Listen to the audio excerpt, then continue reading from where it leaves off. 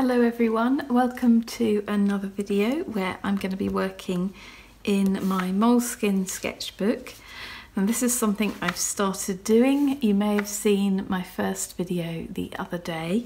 Um, I enjoyed it so much and a lot of you seem to enjoy it too so I thought that this time um, instead of randomly mark making and just experimenting with um, a variety of materials that this time I will use um, a set of nine Polychromos um, pencils by Faber-Castell.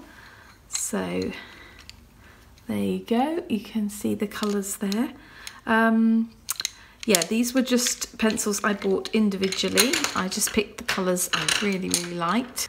So if you'd like to draw along with me, pause this video now, go and get yourself a cup of tea or whatever you prefer, grab your sketchbook and your drawing materials and come back and we will just draw together for maybe 20 minutes or so until I have just filled this page with something. There's no objective to this. I don't know what I'm going to be drawing. This exercise is just so that I can um, try out these coloured pencils and have a little bit of fun with them. So I think the colour I'm going to start with is this. This is one of my favourites. It's called Light Flesh, but um, I think a more appropriate name would be, say, Pale Apricot. I think that's a really lovely colour, sort of a peachy, pinky colour. So we're going to start with that. And I think I'm going to start by just lightly drawing a lovely arcing kind of almost like almost like a rainbow really. And I'm just trying to get a feel for these coloured pencils because those of you who follow me will know that I am not a coloured pencil artist. Um, in fact, I don't really do much drawing at all usually. I'm actually a painter. Uh, I work in watercolour and gouache on paper and I work on acrylic, or rather in acrylic, on canvas. So I don't really do very much in the way of drawing other than to just plan out my paintings and I tend to plan those out not in a sketchbook but on the paper or the canvas that I'll be working on and I only ever really do a very loose sketch.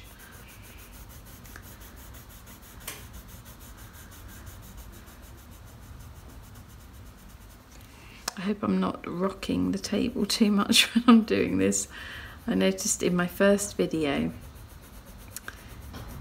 if I really scribbled on the page, it would rock the table, which in turn rocks the camera, which is mounted overhead on a little device that's attached to the table.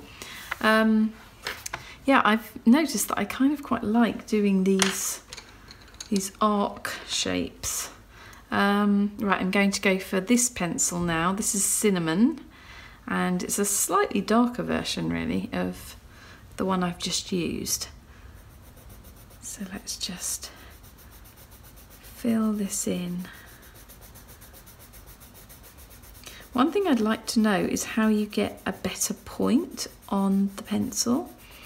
Um, I did sharpen these not that long ago, but for some reason I seem unable, I don't know whether you can see this clearly, I mean, it has quite a good point, but that it's quite thick and I would actually like a really fine point to be able to get some good details at some point. I mean, at the moment, I'm just practicing anything to get a feel for these pencils. Uh, I have actually ordered from Jackson's Art um, a whole array of gorgeous coloured pencils um, the ones that are coming are Caran d'Ache Luminance pencils. Um, I've never tried them before, but they have been recommended and I'm very excited to see what they feel like to draw with. Sorry, I'm just blowing away the little dusty bits that are coming off the pencil.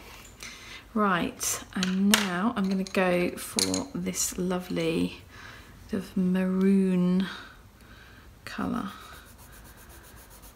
That is a beautiful colour. Yes, so I shall have more pencils and other drawing materials as well at my disposal soon. So we'll actually be able to experiment more with different things and this will be very exciting because you're going to come on the journey with me. You'll watch me as I use them for the first time. I mean, I don't know where all of this is going to take me. Um, I suppose I should recap really and kind of tell you a little bit about um, my history with sketchbooks, which is practically non existent. I mean, I used to sketch a little bit in my teens. Um, and I kept a couple of sketchbooks then, just kind of randomly. I didn't really, um, I wasn't like a regular sketchbooker, but I would draw in them now and again, and I quite enjoyed it. But when I took up painting, I just wanted to paint really. I didn't, I don't know, it sounds really weird, but I didn't really see the point in drawing other than to get to the end result of painting, if that makes sense. So it was like um, I would only draw if I were planning out the painting. I didn't just draw for fun. Um, what colour should we go for next?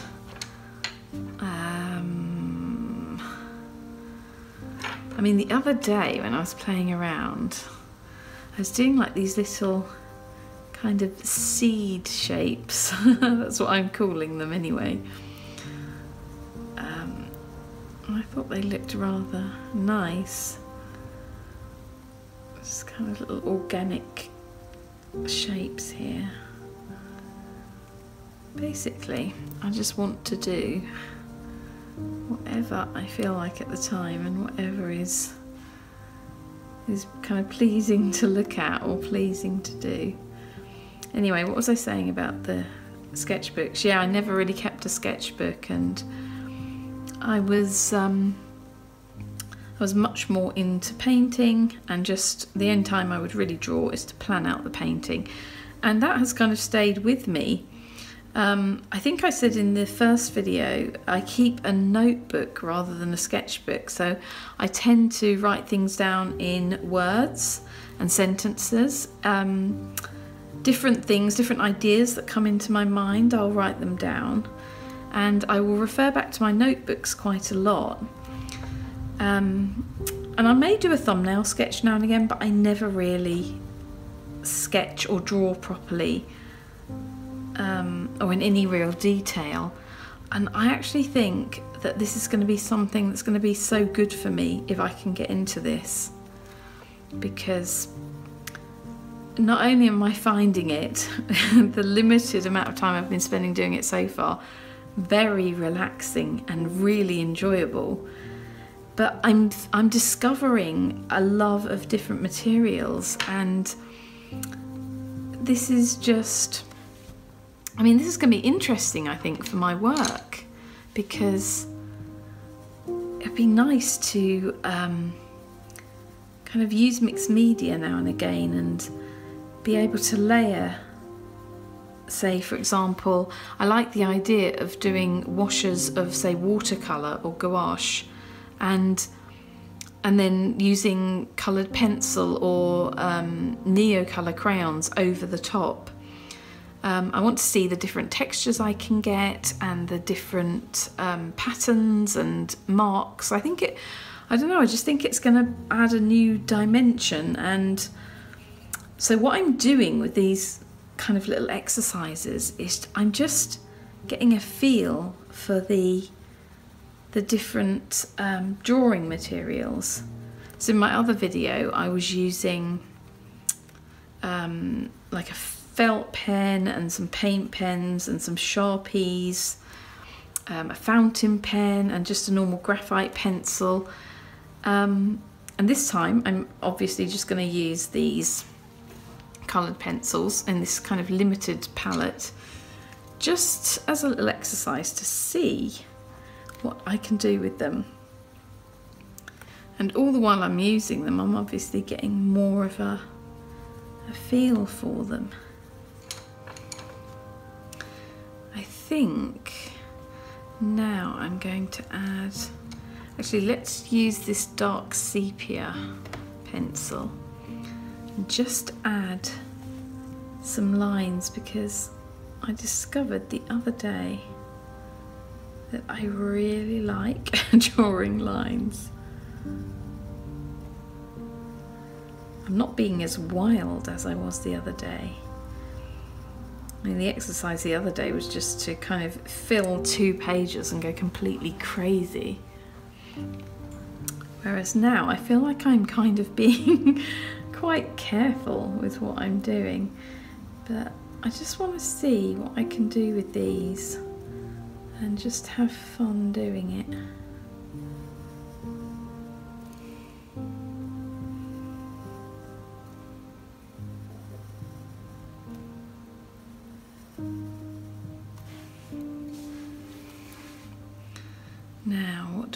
Do next? I think we'll get this one. It's kind of mid-grey colour. And I'm going to do something like I did the other day, but I want to just try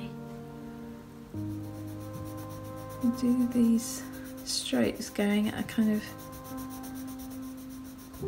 diagonal angle here. And then I went the other way, like this. Oh, I thought it looked quite interesting.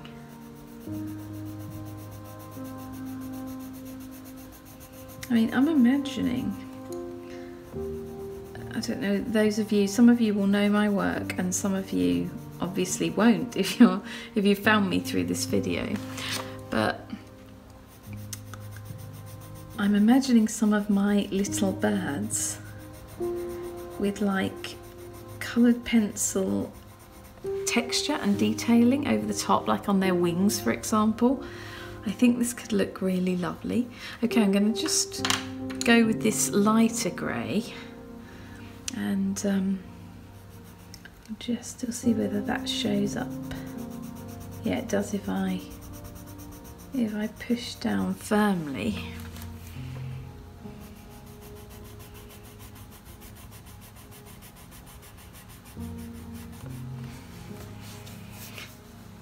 There's something rather nice about that.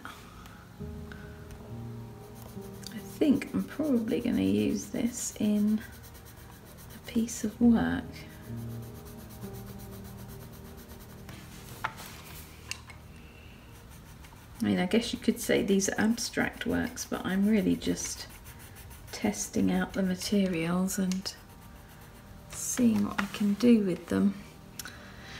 Right, what haven't we used? We haven't used the green yet, have we? So let's add some green. What can we do with the green?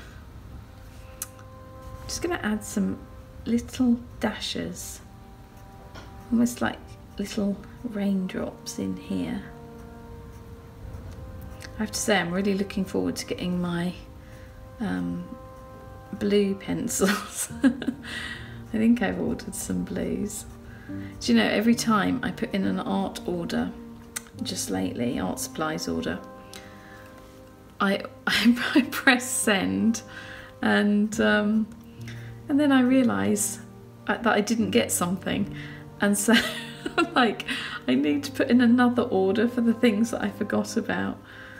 It's just, it's a pain. It would be really good if I had like an art shop up the road and could just pop in, but have to do it online. Should we continue those little raindrops down here? I think we should. I think they could look good. Um, so yeah, I might have to put, um, I'll place another order so that I can get the things I missed last time. I'm trying to remember everything I need. It's because I'm ordering things I wouldn't normally order. Anyway, I'm going to be doing an art haul video very soon and I'm going to show you all of the different things I have recently purchased from Jackson's Art Supplies and I also have um, a video coming up where I show you what I bought from um, a lovely shop in London. I bought them online, I didn't go into London, um, called Choosing Keeping. Um, I only recently found out about this shop and they do the most amazing array of unusual uh, stationery and art materials. And I decided to treat myself because I recently um, reached 100,000 followers on my Instagram account. And um, I was, I mean, it's been years, it's taken me years to actually to get there but I mean, it's quite something, and I'm still, I think I'm still in a bit of shock about it actually, because it's such a huge number, and I can't quite believe it. But um, yeah, I'm actually now at 103,000. So I only reached 100,000. I don't know when it was now. Was it a couple of weeks ago?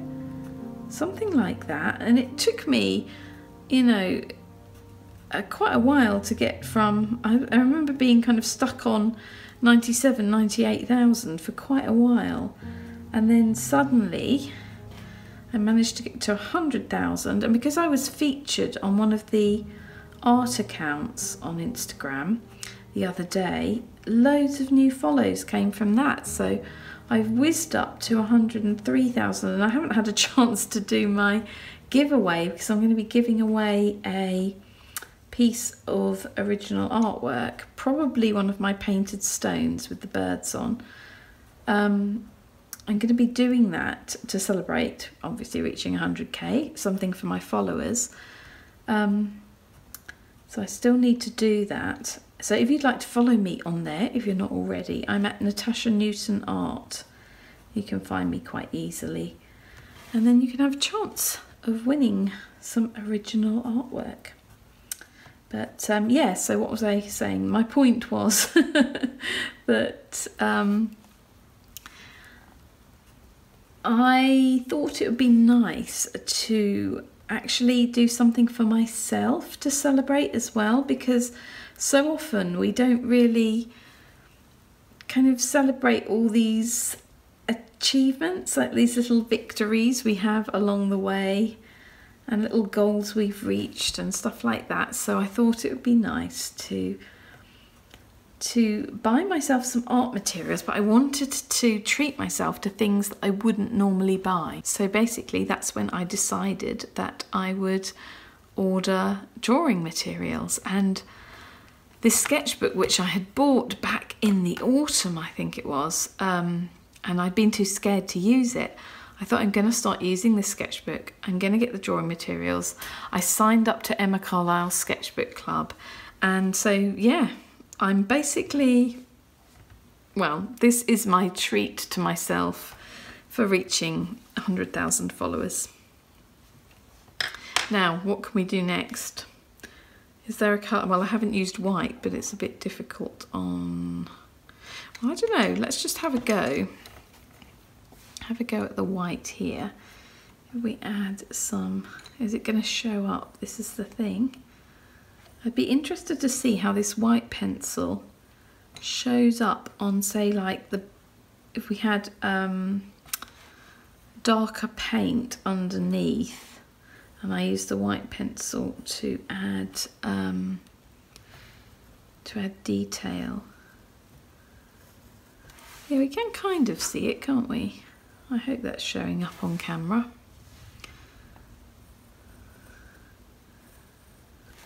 It's quite interesting to see how things layer. Sometimes it works and sometimes it doesn't. Right, I'm going to, I think, take this dark sepia again and let's put in some little patterns in here.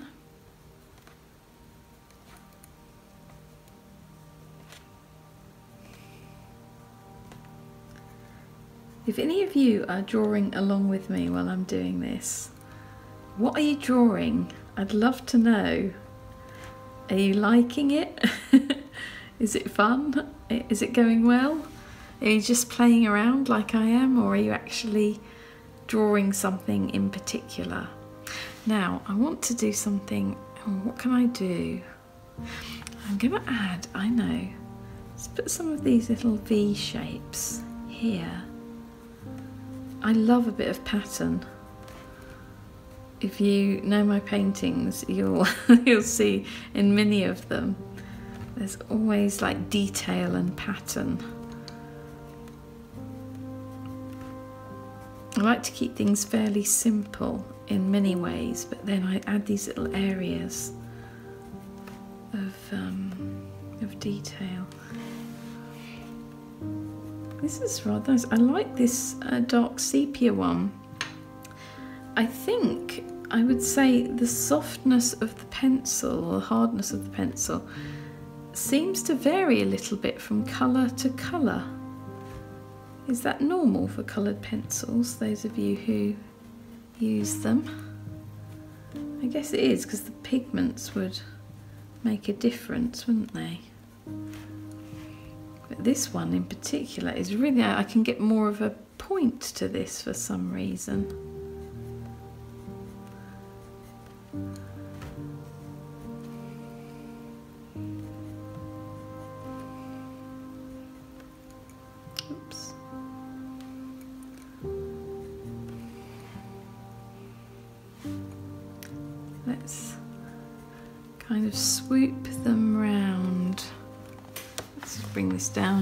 Hope I'm still in shot. It's a bit hard to tell. I keep moving up and up and up, or I go down and down and down and go out of shot. You have to forgive me if that happens a bit, because I can't really see very well. I mean, I set it up beforehand, but if I move, it becomes difficult to see. Right. Um, what else could we do? I Might just do a little bit of cross hatching down here. Oh, this is so lovely and smooth, this pencil. By the way, have you got any recommendations, any of you, for sketchbooks? Like I say, I'm using a Moleskine sketchbook, um, which I really love. However, they are a little bit pricey. So I would be interested to know whether any of you can recommend other sketchbooks. Which ones do you like?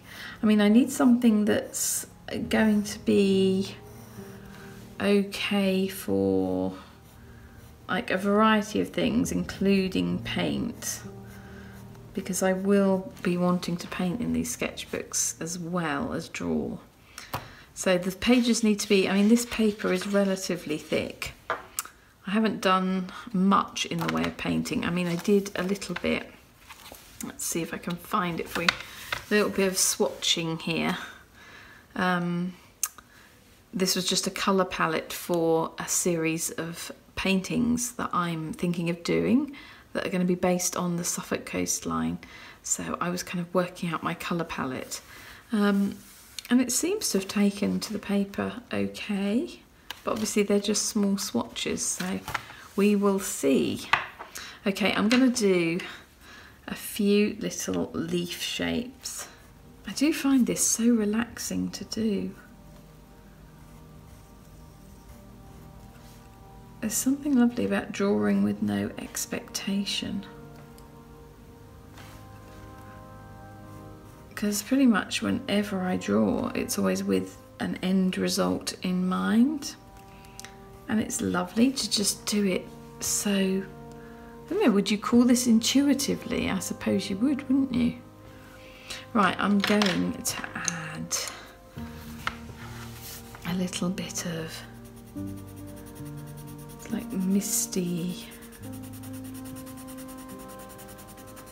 Sorry, I think I'm shaking the camera again, which is a little bit annoying for you.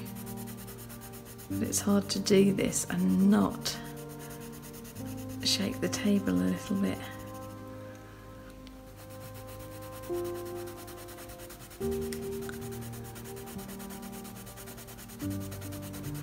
Let's see if I go a bit firmer. It gets a little bit darker. Very pale grey though. Beautiful colour. I wouldn't mind um, having some walls this colour actually. At the moment, I'm thinking about um, decorating. Well, it needs complete um, redecoration. At the moment, it's um, a room that we use to just dump everything else in while we're decorating elsewhere. But it is going to be my little office room. So it's a room that's just off the studio. It's very small and um, it's a lovely little room though. It has an original Victorian cupboard in there, so that will be great for storing my packaging materials and and things like that. Um, but I'm thinking about kind of using a lovely sort of pale bluish grey on the walls in there because I think it will look be really calming and it's quite a small and quite a dark room as well so I think it needs something quite light on the walls. And I think something that's not far off the colour I'm using here can actually be um, really nice. But I can't wait to show you that. It's like when I've got a bit of time I'm going to be um, renovating that room and I'm going to share it on the on the vlog so you'll get to see what I'm up to. But I've bought um, some nice things for that room. They're just kind of in storage at the moment because I, I buy things when I see them, like if they're on offer somewhere or it's something unusual, I'll get it when I see it and um, and just kind of put it away so that I've got it ready for when I do the room. But I bought some nice pieces. Um, I got a lovely rug the other week from Habitat and it was the most amazing price. I think it was, they were supposed to be £80 and I managed to get it, I think it was in their sale, or was did it already have money off? I think it already had some money off and then they had an extra sale price on top of that. So it was something like, it should have been £80 and I got it for, I think it was 38 or something absolutely beautiful rug and I think it'll be perfect for the office so I can't I'm really excited to put this office together I think it's going to be such a lovely little room and I can't wait to show you it's going to be such a it needs a lot doing to it so there'll be kind of like a drastic difference at the end which is quite nice for a vlog isn't it it's nice to see something change quite dramatically right um do we want to do anything else? I know I'm meant to just be playing around, so I kind of feel like this bit needs something. You see, I'm already looking at it like a painting, aren't I? I'm trying to make it feel right. I know what we'll do. Let's add a few of these little guys in here.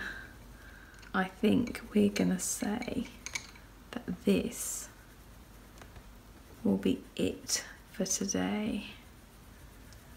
It's been really fun. Again, I just love doing this. Shall we leave it there? Just a fun little exercise. You never know how they're going to turn out. Anyway, thank you for watching and for keeping me company while I worked on this. Um, I'm going to be recording more of these in the future.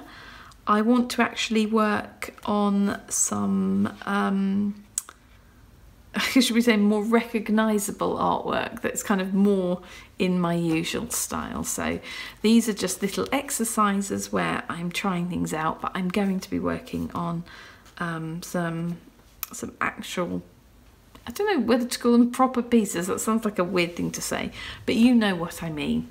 Anyway, I hope you enjoyed it. Please give it a thumbs up if you did. Thumbs up. and um, I'll be back soon with another video. Take care of yourselves and stay creative.